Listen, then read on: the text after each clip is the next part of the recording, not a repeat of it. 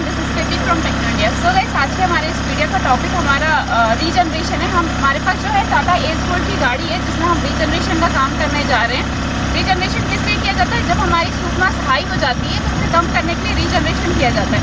तो अभी जो टाटा एज गोल्ड की गाड़ी है, इसमें जो हमारी रीजनरेशन है, पच्चीस पच्चीस हो गई है, जिसे हम कम करेंगे। एंड कभी भी अगर आपकी जो सूट मास है, वो अगर फोर्टी क्रॉस हो जाती है तो उसे आप कम नहीं कर पाते हैं रीजनरेशन से। उसके लिए आपको उसे मैनुअली ठीक करना पड़ता है, साफ़ करना पड़ता है, तब वो कम होती है। तो आज हम जो यूज़ करने जा रहे हैं टूल वो हमारी बी एक्स जिसके थ्रू हम काम करेंगे। इसमें इसका प्रोसीजर देखते हैं कि कैसे इसमें काम करेंगे। सो so गई जैसा कि आप लोगों को बताया गया कि अभी हम टाटा एज गोल्ड में काम करने जा रहे हैं जो कि हमारी बी एस मॉडल है। और इसके अगर आप स्क्रीन में देखेंगे मीटर में तो यहाँ पर आप लोगों को चेकलाइट शो कर रही है। एंड जो ब्लू लाइट है इसमें भी आप लोगों को पता चली कि सूट मास हाई है। तो अभी हम इसे सॉल्व करते हैं और हम जो आज टूल का काम करने जा रहे हैं टूल से वो हमारी वी एक्स टाइग है। सो so, आप लोगों को पता है कि हम हार्डवेयर विद सॉफ्टवेयर दोनों प्रोवाइड करते हैं तो वी एक्स टाइग का ये हमने सॉफ्टवेयर स्टार्ट कर लिया है।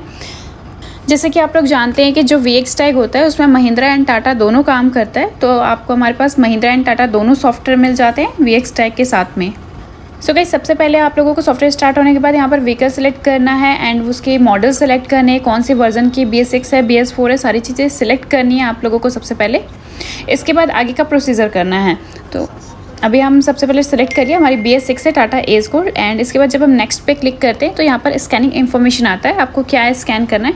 आप उसके बाद ई एम एस पे क्लिक कर लीजिए, जो भी आपको स्कैन करना है, इसमें बहुत सारे ऑप्शन दिए हुए हैं T C O A B S तो हमने क्लिक कर दिया है एंड इसके बाद ओके पे क्लिक करना है। और ये आपका प्रोसीजर स्टार्ट स्टार्ट हो जाता है। यहाँ पर आप लोग देखेंगे तो आप लोगों को सारे फॉल्ट कोड वगैरह सारी चीज़ें शो कर देता है। एंड लेफ़्ट हैंड साइड में आप देखेंगे तो सबसे जो लास्ट ऑप्शन है, वो हमारा रीजनरेशन का ऑप्शन है।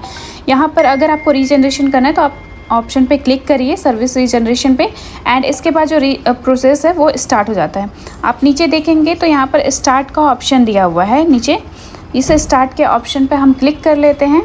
एंड नाउ अब हमारा जो रीजनरेशन का प्रोसेस है, वो स्टार्ट हो जाएगा। जैसे ही रीजनरेशन का प्रोसेस स्टार्ट होता है, जो इसकी साउंड है, आप लोग बैकग्राउंड साउंड सुन रहे होंगे, वो बहुत स्पीड हो जाती है हाई हो जाती है। एंड ये जो प्रोसेस है, वो मोस्टली टाइम लगते हैं तो half an hour one hour लगते हैं। तो ये धीरे धीरे कंप्लीट होता है एंड जो भी कचरे हैं धीरे धीरे वो रिलीज़ होते हैं नीचे से, वो भी मैं आप लोगों को शो कर देती हूँ।